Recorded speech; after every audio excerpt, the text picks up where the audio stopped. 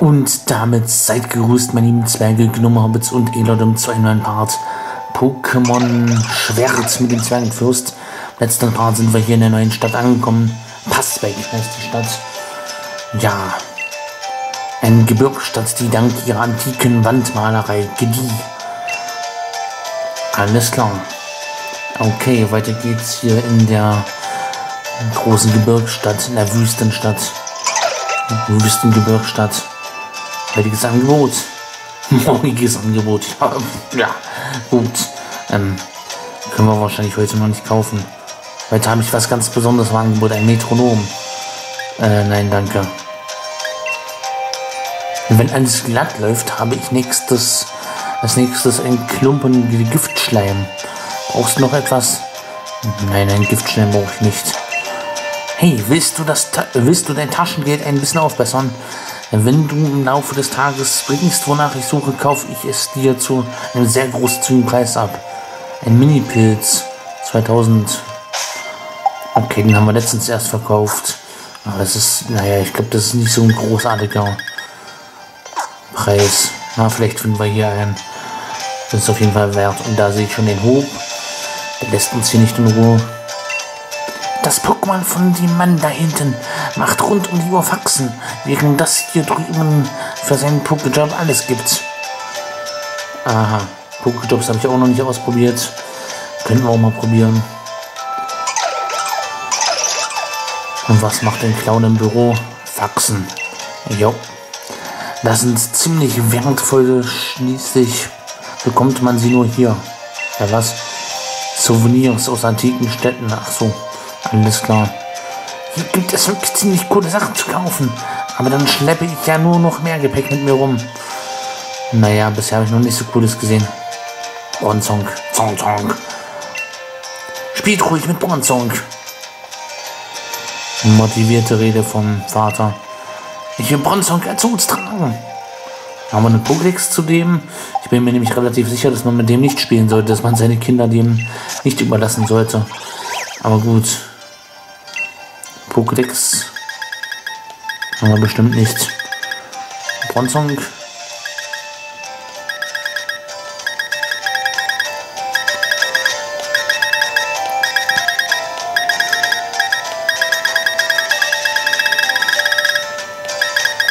Und haben wir noch relativ wenig im Pokédex. Gibt es noch nicht so viel zu sehen. Ja gut.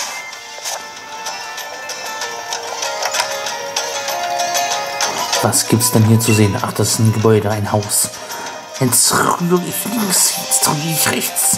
Ich pass auf, dass nichts anbrennt und nichts klickst. Aha. Die kocht wohl aus Leidenschaft.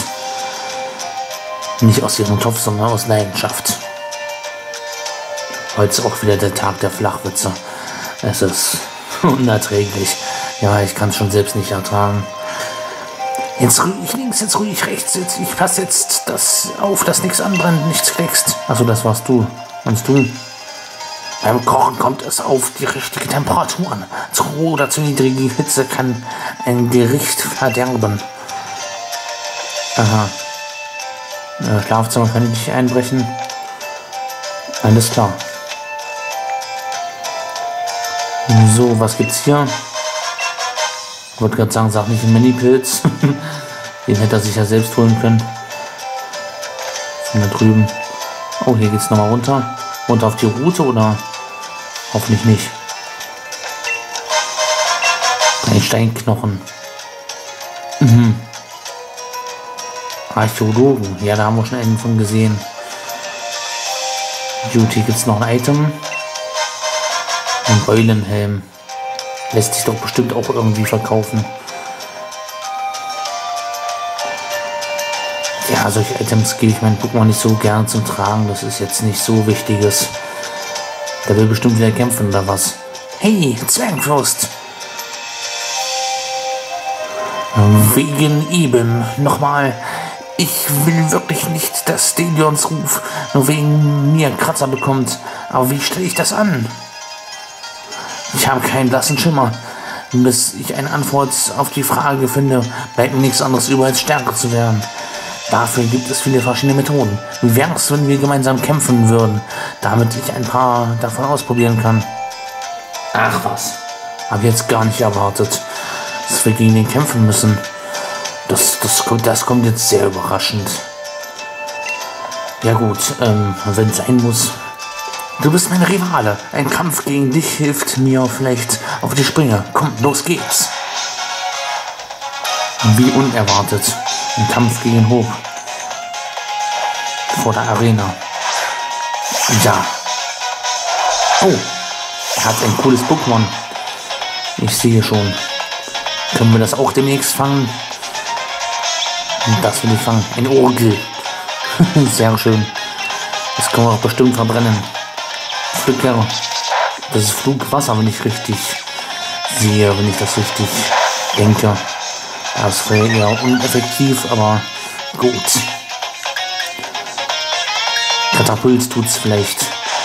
Okay, bei einem Flug guckt man jetzt vielleicht nicht so unbedingt, aber naja. Keine Bruch, kann ja eine Bruchladung niederlegen. Na zack.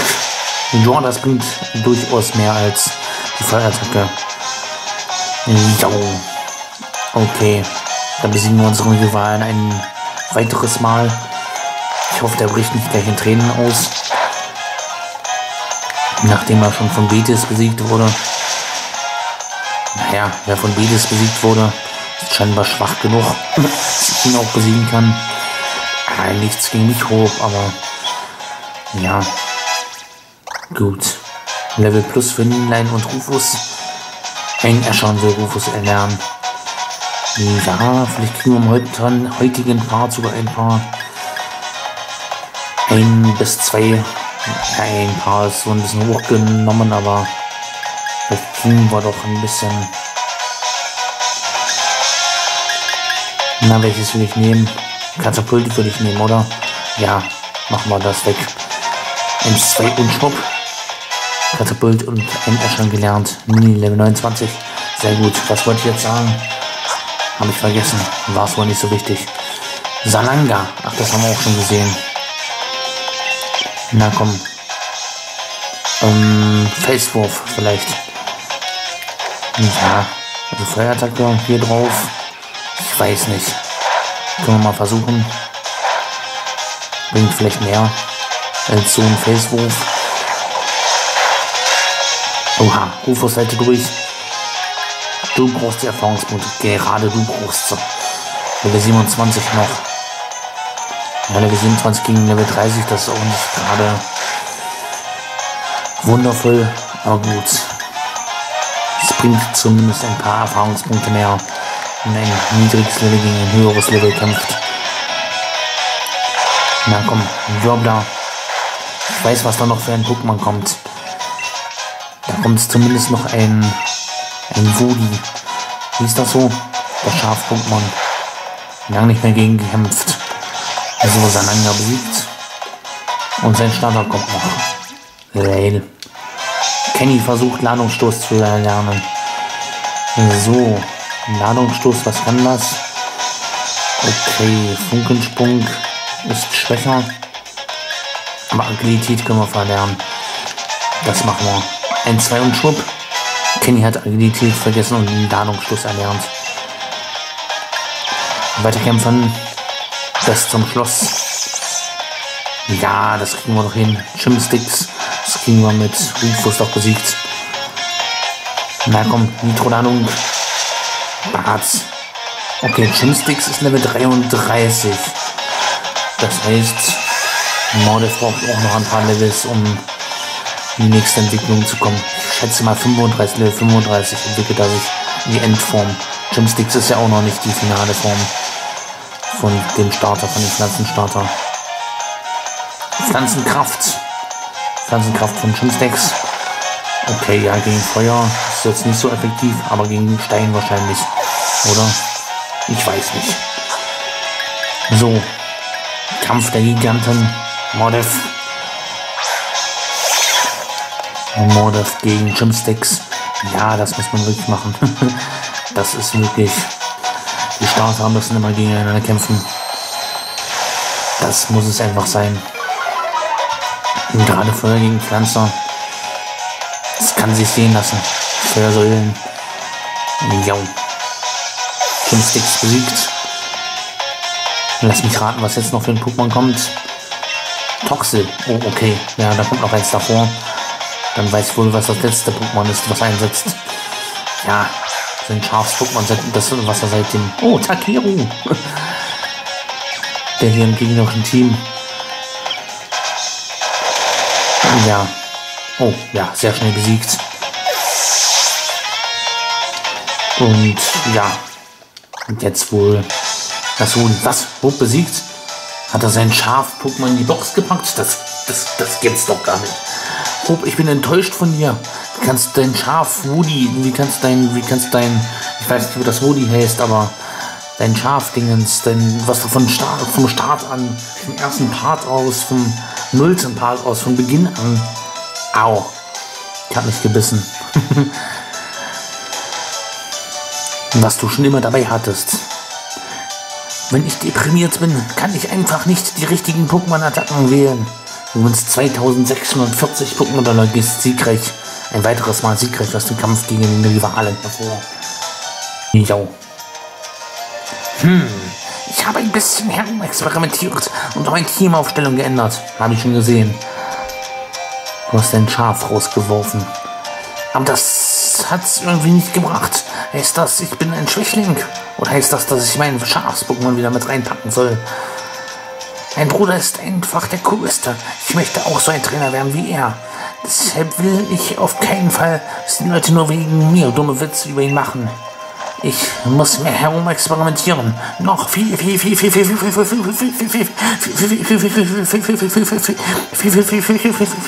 viel, viel, viel mehr. Ich werde mir ein Team zusammensuchen, das perfekt zu mir passt. Ein Team, das nur dank meiner ganz persönlichen Stärken als Trainer über sich hinauswächst. Ah, okay. Was? Oh, was? Wann kann da? Woher kommt denn die? Die hat sich aber angeschlichen. Die Jugend von heute. Bei der Arena Challenge sollte man für sich und seine Pokémon-Kämpfer niemanden sonst. Warum ich? Warum sorgt sich dein Freund denn so sehr um den Ruf des Champs? Jeder weiß doch, dass er unschlagbar ist. Wie dem auch sei. Danke, dass du mir dein Können gezeigt hast. Hier, hast du das. Da ist die Liga-Karte von Seida. Oh.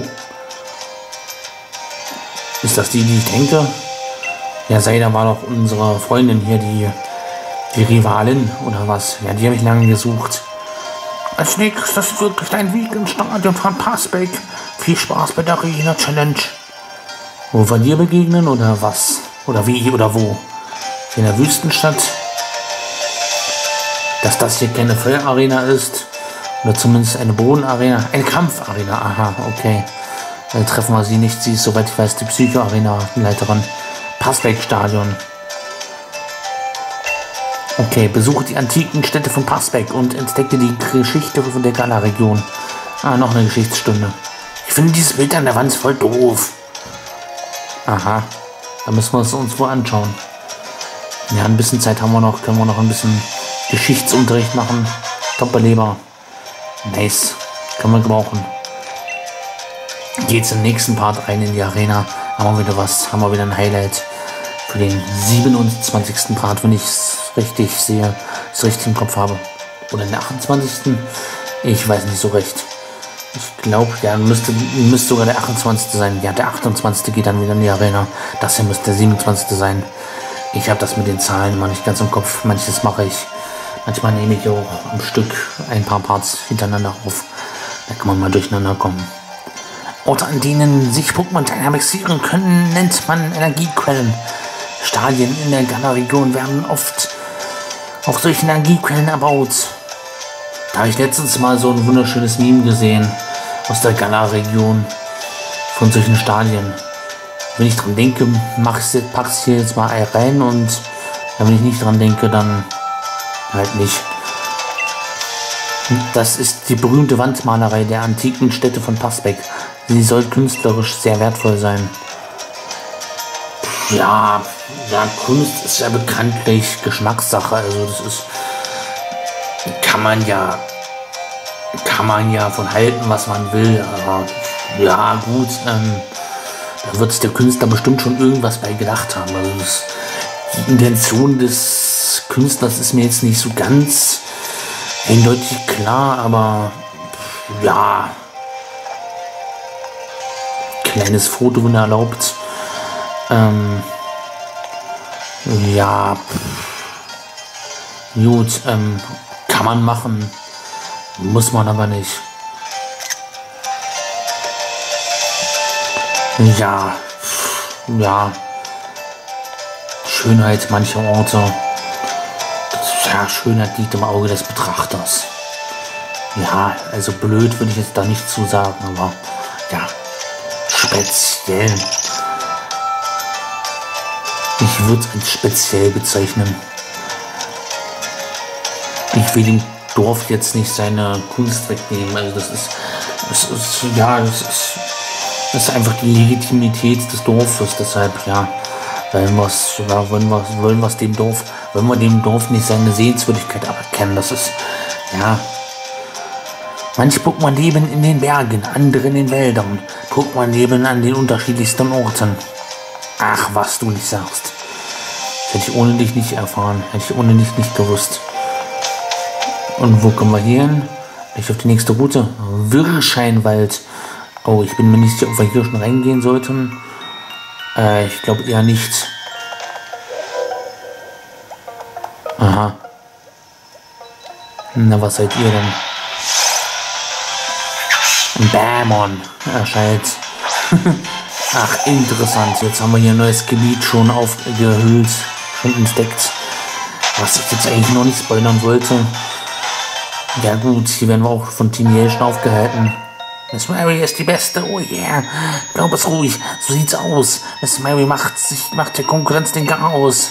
Ja, hier werden wir nicht weitergelassen. Gut, ist eher ein Ding für den übernächsten Part. Nach der Arena schon so ein bisschen die nächsten Parts vorausgeworfen. Haben wir hier schon so ein bisschen den Passback. Machen wir erstmal weiter. So ein kleiner Teaser-Trailer für die nächsten Parts. Kann man machen. Ja, suche jetzt noch eine Boutique. Gibt es hier noch eine Boutique oder ist das das hier das einzige, was man kaufen kann an diesem Markt hier, dieses, diese paar speziellen Sachen? Der eine Typ hat doch gesagt, so, so sonderbar tolle Sachen gibt es hier zu kaufen. Dann ist das hier der einzige Laden oder was? Noch ein Wohnhaus. Ich bin stolz. Ich bin stolzer Taxipilot beim Flugtaxi. Als kleines Dankeschön für dein Vertrauen möchte ich dir diese TM hier schenken. Fliegen. Ähm, warum solltest du mir das schenken wollen? Das ist doch eher kontraproduktiv für deinen Job. Das ist doch Wenn ich dann fliegen lerne, dann brauche ich dich doch gar nicht mehr. Das erste fliegende Taxi in Ghana war in Kramor. Und diese Tradition bleiben wir treu. Alles klar. Ja, komm, das Können wir noch aufs Dach steigen? Steigen die aufs Dach. Ich steig dir aufs Dach. Volle Möhre. Riesige Kanne. Rissige Kanne. Ah, okay. Da war doch bestimmt ein Mortiport drin.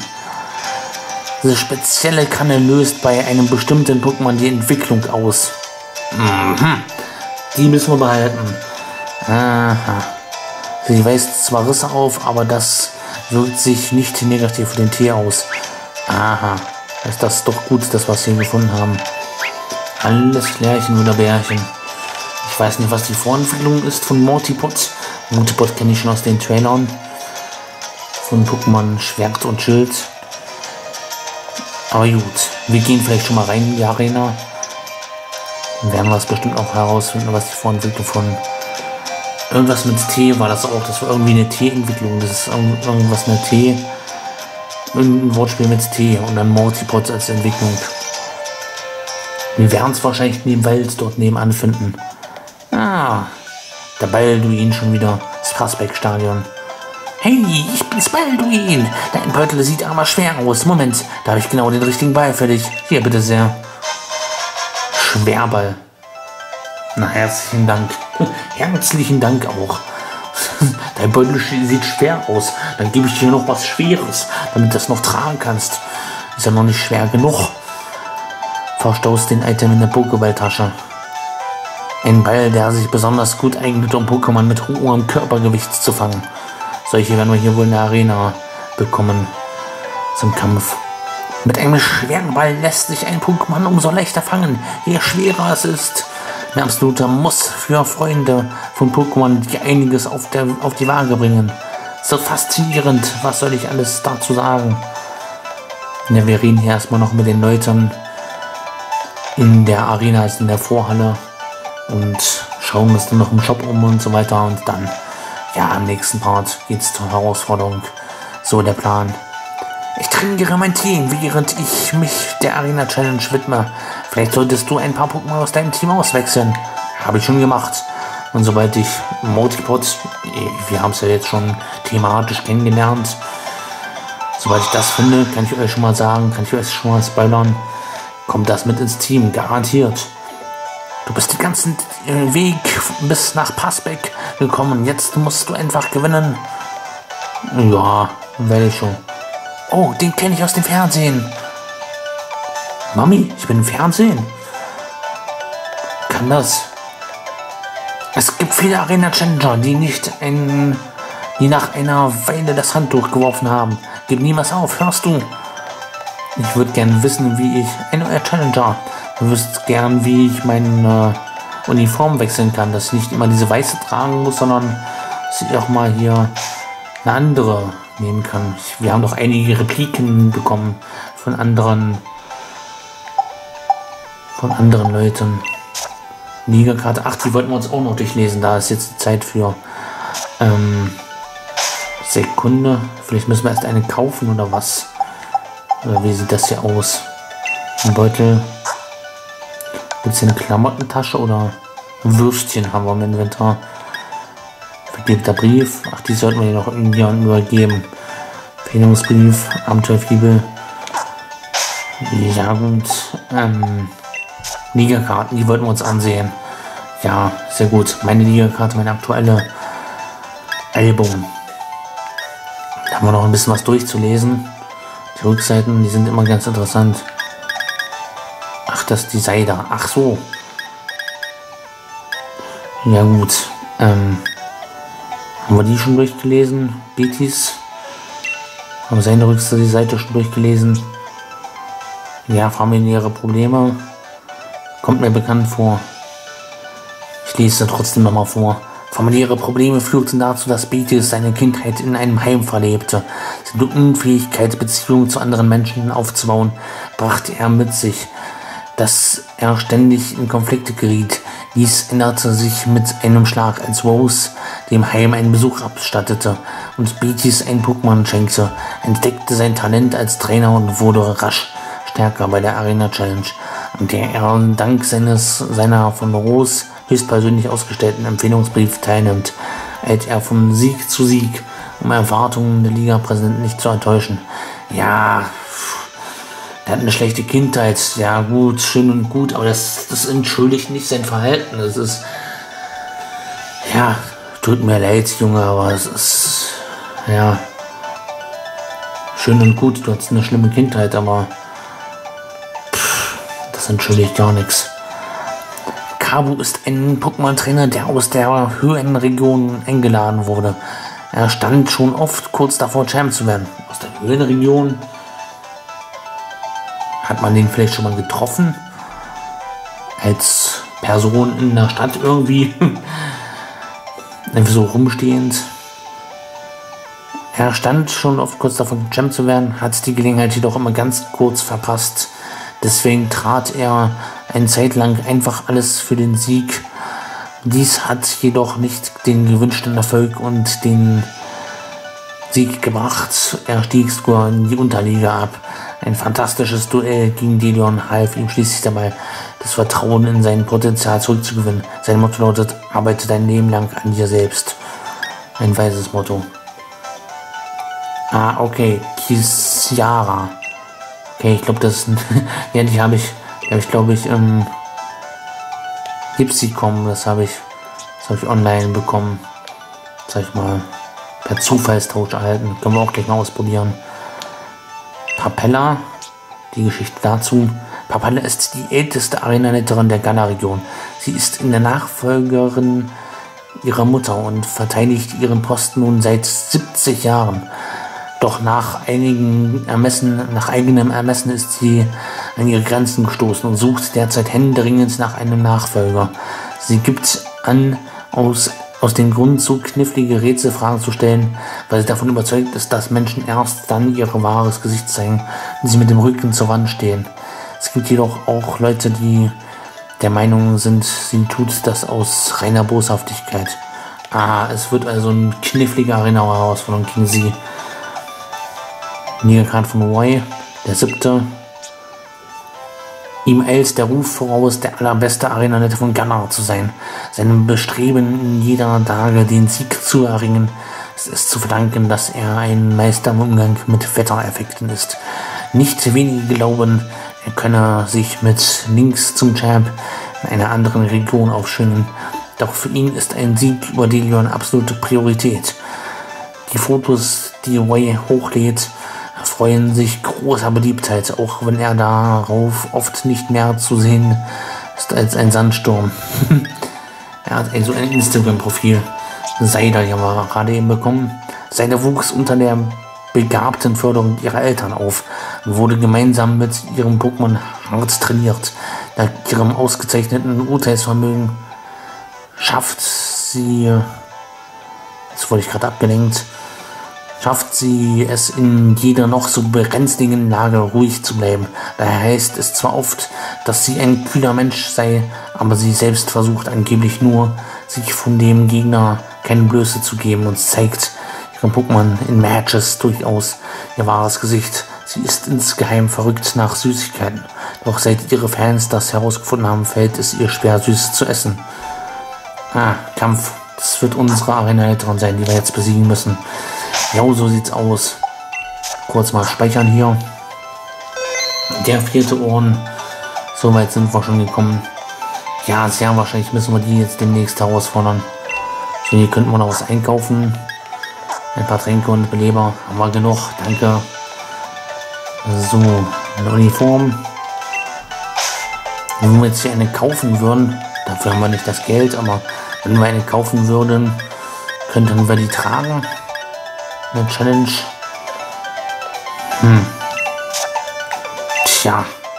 Gut, dann sage ich schon mal Däumchen nach oben. Soll es euch gefallen haben? Sollte euch dieser Part gefallen haben? Lasst ein Abo da, wenn ihr neu seid. Den nächsten Part nicht verpassen wollt. Das nächste Video auf meinem Kanal nicht verpassen wollt. Jo, habt einen angenehmen Tag und man sieht sich im nächsten Part wieder. Oder im nächsten Video auf meinem Kanal. Bis dahin. Haut rein. Ciao, ciao.